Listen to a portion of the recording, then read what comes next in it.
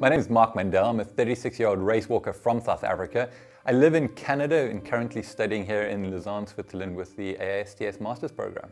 For me, race walking was about following my dad's footsteps. He competed representing South Africa, and I was a very impressionable age getting into every kind of sport I could possibly imagine.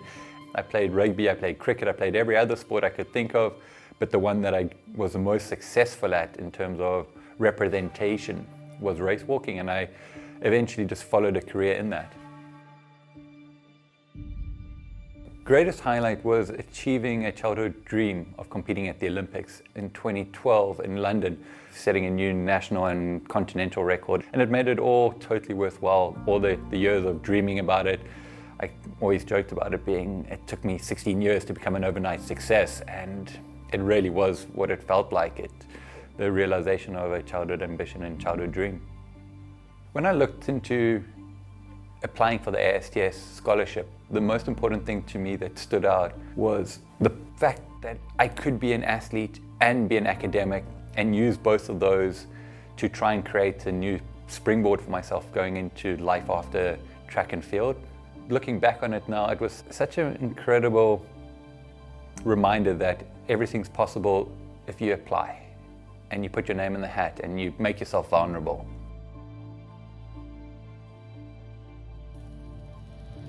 Balancing high performance sport and training for Tokyo 2020 together with the master's program has been a really challenging balancing act for me.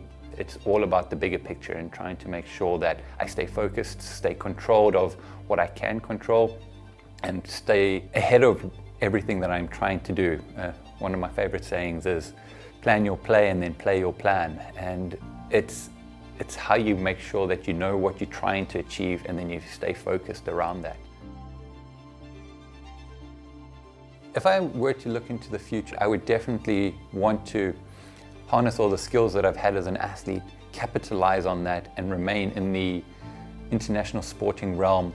I dream of being a chef de mission of an Olympic team. That would probably be the ultimate goal that I'm working towards, but along the way, I'd love to work in international team delivery and high performance sport. Coming to the AISTS was a real opportunity to, to build my career following on from competing at two Olympics and a life in international sport.